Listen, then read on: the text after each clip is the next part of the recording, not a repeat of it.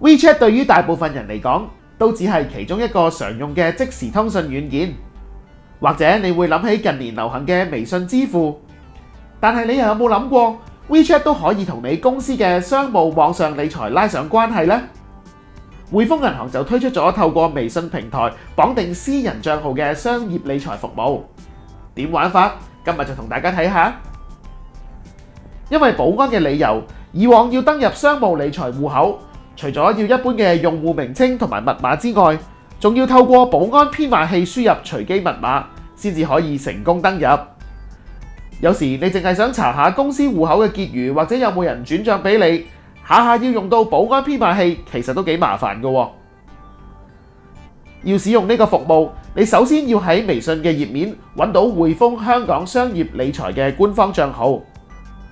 或者你可以直接掃描匯豐提供嘅 QR code 都可以揾到㗎。當你揾到同埋關注咗官方帳號之後，就要開始綁定戶口嘅程序啦。佢首先會提示你輸入網上理財嘅用戶名稱，之後就要輸入你嘅私人密碼同埋保安編碼器嘅隨機密碼，最後揀埋戶口入邊你想綁定嘅戶口，程序就叫做完成㗎啦。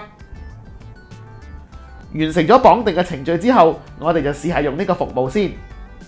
你只要去到匯豐香港商業理財嘅對話頁面，下面就有唔同嘅服務選項，主打嘅當然就係銀行服務啦。等我試下選擇戶口結餘先。哇！我公司嘅戶口結餘好似一個信息咁樣即刻彈埋出嚟啦，比以往要用保安編碼器登入簡單好多喎。除咗查詢戶口結餘功能之外，你亦都可以睇到匯入款項同埋簽帳卡嘅結餘。當然啦，轉帳或者其他高風險嘅交易項目，你都仲係要透過網上理財去處理㗎。